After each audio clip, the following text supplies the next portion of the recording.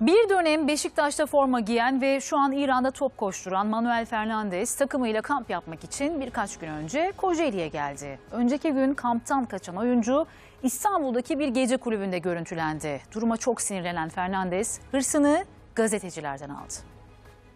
Hey, ne yapıyorsun ya? İndir lan elini. Da sen indir elini ya. Sen ne yapıyorsun ya?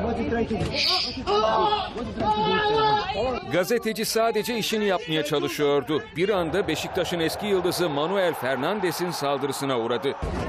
Hey, ne yapıyorsun ya? İndir lan elini. Tamam da sen lan indir elini ya. Sen ne yapıyorsun ya?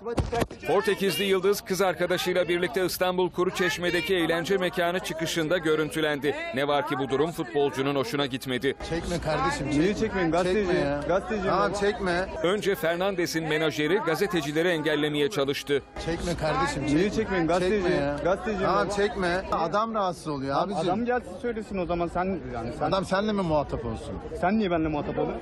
Adamı benim, menajeri benim kardeşim. Tartışma giderek büyüdü. Adam rahatsız oluyor abicim. Adam Adam, gelsin söylesin o zaman sen yani sen, seninle mi muhatap olsun? sen niye benimle muhatap oldun? Adamı benim, menajeri benim kardeşim. Fernandes ve yanındakiler gazetecilere kaba davranmaktan çekinmedi. Adam rahatsız oluyor kardeşim. Tek çekebiliyorsan. Ya lütfen çekmeyin. İyi de hanımefendi gazeteciyim ben. Tamam Niye- kardeşim. Tamam, Ben de elini- vatandaşım. Bir süre sonra işin içine şiddet girdi. Ne yapıyorsun ya? İndir lan elini. Tamam da sen indir elini ya. Tamam ne vuruyorsunuz ya? Çekme abi. Niye vuruyor abi? Ne yapıyorsun sen ya? ne yapıyorsun ya? Sen ne yapıyorsun? Niye saldırıyorsun? Saldırının ardından darp raporu alan gazeteci Fernandes'ten şikayetçi oldu.